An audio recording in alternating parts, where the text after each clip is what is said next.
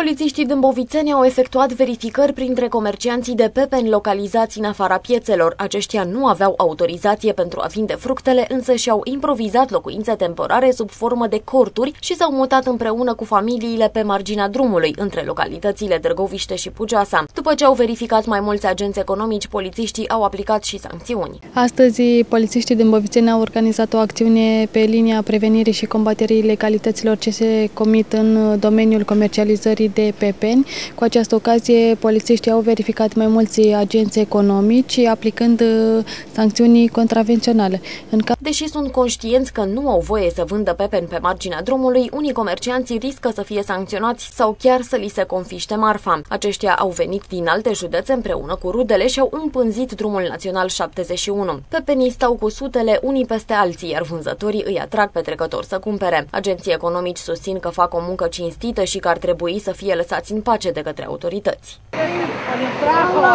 Sângerul?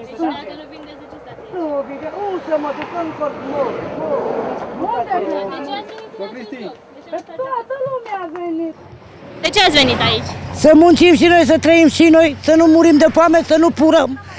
Și ce anume faceți? Cum munciți? Ați venit să vindeți și noi, Să vindem și noi, să trăim ca să nu intrăm în pușcărie, ca să furăm. Pe păi da. știți că nu aveți voie Pe păi noi știm, doamnă, dar nu furăm. E mai rău când furi, e mai rău ca să mă duc în pușcărie.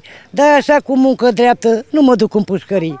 După ce au fost verificați de către agenții de poliție, comercianții au fost nevoiți să își strângă marfa și să plece, deoarece nu aveau autorizație și nici acte pentru cantitatea de pepen pe care o dețineau. Oamenii legii nu i-au iertat, aplicându-le sancțiuni contravenționale. Polițiștii au organizat o acțiune pe linia prevenirii și combaterii ilegalităților ce se comit în domeniul uh, comercializării de pepeni. Cu această ocazie, polițiștii au aplicat 10 sancțiuni contravenționale în valoare totală de 12.000 de lei și au ridicat în uh, vederea confiscării peste 2000 de kilograme de pepeni.